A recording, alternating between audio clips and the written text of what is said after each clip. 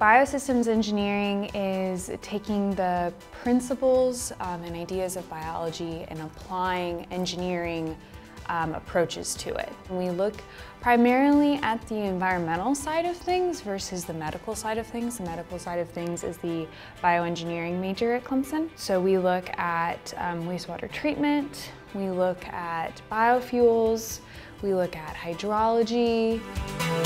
Uh, I went on a summer experience um, when I was 14 years old to California and I learned a lot about conservation and how some of the habitats, even just in America, are um, kind of in danger. So I decided that whatever I was going to do, I was going to do something that was related to the environment and to help the environment in some way. And biosystems was really just the best fit and I'm, I'm so glad I did. I love the major.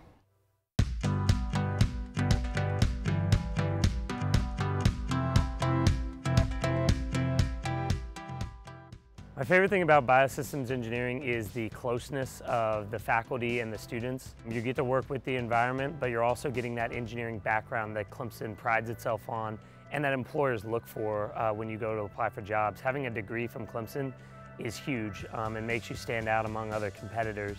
Um, but also just having a biosystems specific engineering degree um, is great because it is a new field um, that's growing rapidly and so by working with companies around here that are getting to know about Clemson's Biosystems Engineering program, um, you are uh, unique um, when you're applying for jobs in the area.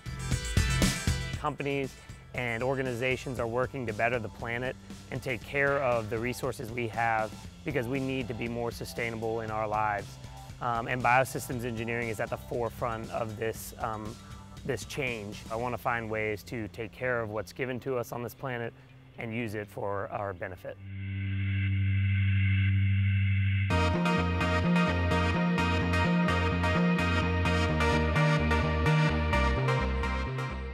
I decided to become a biosystems engineer because I loved the science that was going on with the environment, but I also wanted to be able to do something about it also.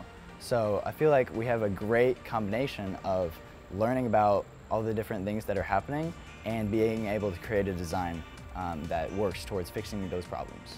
I've always liked math and science and when I learned that there was a field where I could use those skills to solve some of the greatest challenges that we have in our world right now, that was really attractive to me. When we create something, we don't want to just isolate the compound. We want to see or where it goes afterwards and then how we could maybe bring it back and recycle it.